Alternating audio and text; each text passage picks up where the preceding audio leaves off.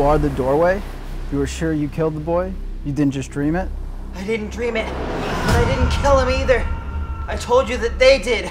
I am the doorway. You buried him? Yes, Remember where? yes. If you want to see it, you'll have to get my wheelchair. You can't roll it through the sand. Not yet. Tell me again. All right. Last night at 7, I was out here, looking at the Gulf and smoking. Just like now. And Go I. further. Further. Tell me about the flight. Richard, we've been through it and through it. There's nothing. Now you may remember. Do you think so? Possibly. And when we're through, we can look for the grave. grave.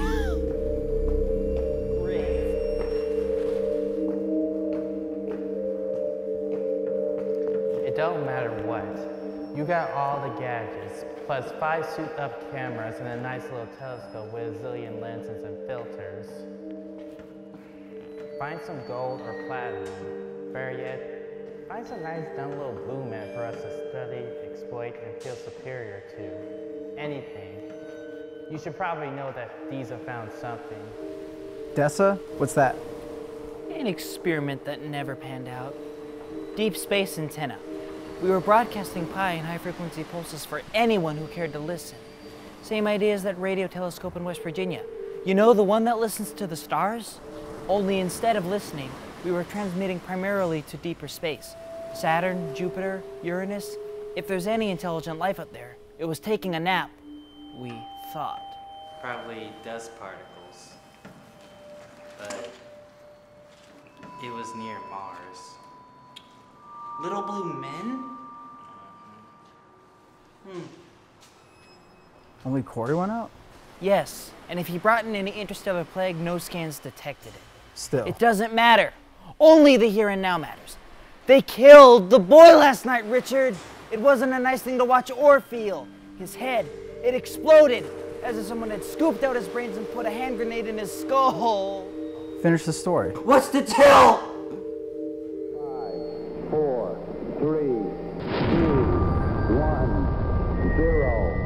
Engine running.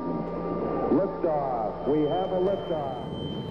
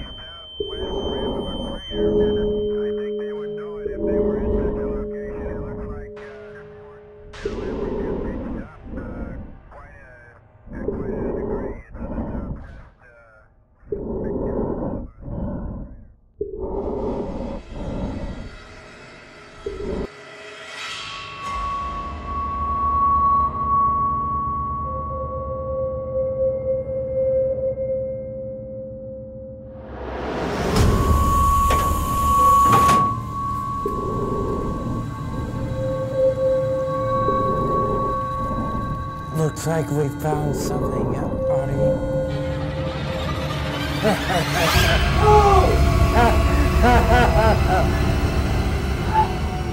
I came to back on Earth. They hadn't even had a chance to roll out the red carpet yet. I was bleeding.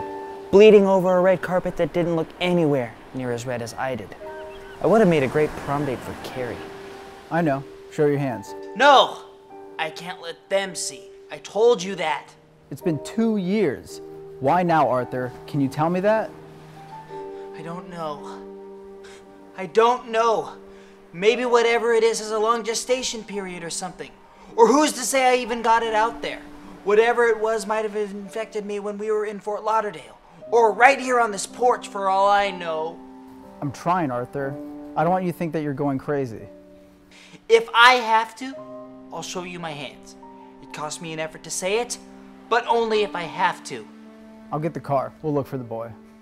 Thanks, Richard. Have you cut some poison ivy? I guess. It could be just nerves. Keep an eye on it. Dr. Flanders is fishing, but if it's urgent, When will Dr. Flanders be back? Dr. Flanders will be back after tomorrow afternoon at the latest. Never mind. All right, Artie. It's your party. Where to? The beach.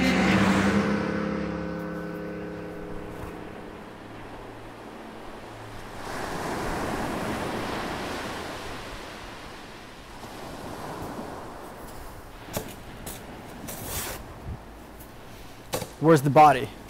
Where's the boy, Arthur? They moved him. They knew. They used me. They're getting the upper hand, Richard. They're forcing their doorway open a little at a time. A hundred times a day, I find myself staring at some perfectly familiar object a spatula, a picture, even a can of beans without knowing how I even got there. With my hands out, showing it to them, seeing it as they do, as an obscenity, something twisted and grotesque. Arthur? Uh, Arthur, don't! uh, Standing in front of something, you said. Moving the boy's body, you said. But you are dead from the waist down. Your car is dead too, but when you enter it, you can make it go. You can make it kill.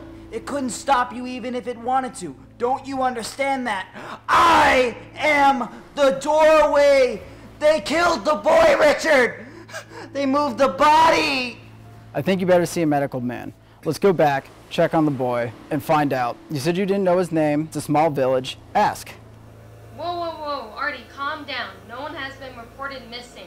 You know him, don't you? He's a local. Artie, have you been drinking? So what? You don't believe me? You think it's all in my head, don't you? You ever heard of AA, Artie? I know I drink. I do. But these hands would make you drink too, Richard. So ain't no other way around it but through. I gotta show you. You have to see them. If I don't see them, will you come with me to a meeting tomorrow? I've been sober for five years now. You must promise me one thing, Richard. You must run if it seems I try to hurt you. Do you understand that? Yes.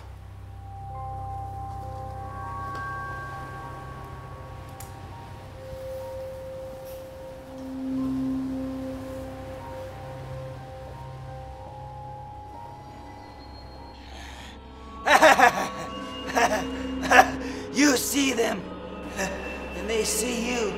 I'm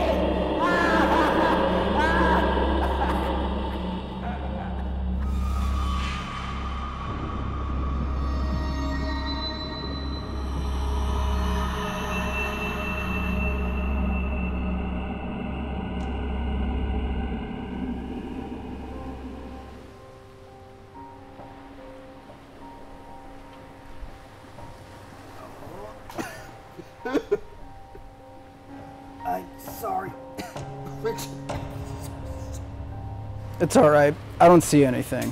You'll come with me to the meeting tomorrow.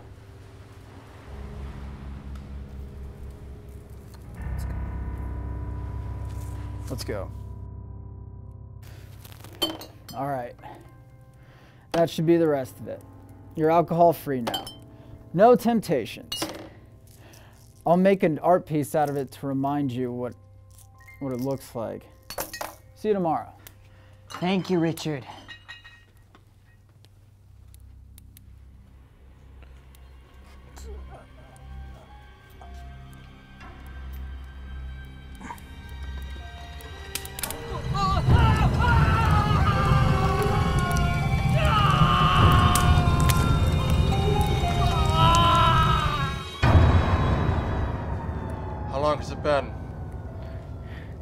Two years.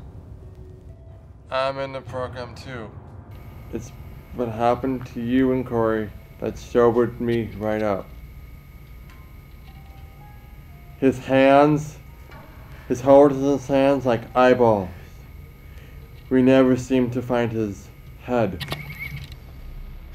I am not crazy. You must shut down the Zeus project. Mars is infected by them. I am doing this to save everyone. The doorway is opening again. I must close it forever. Arthur Nelson, former astronaut, now a doorway to another world. Find a nice dumb little boom for us to study, exploit, and feel superior to. We are officially closed for business.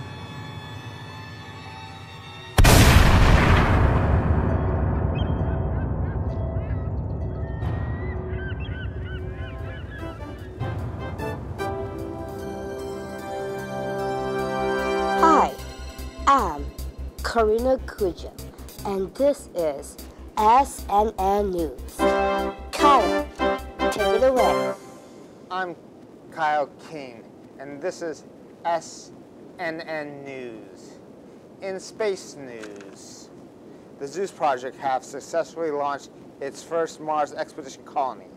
While they've reported some infections similar to poison ivy, the latest diseases are no more harmful than a mosquito bite. Good. No more harmful than a mosquito bite. Thank you, Kyle.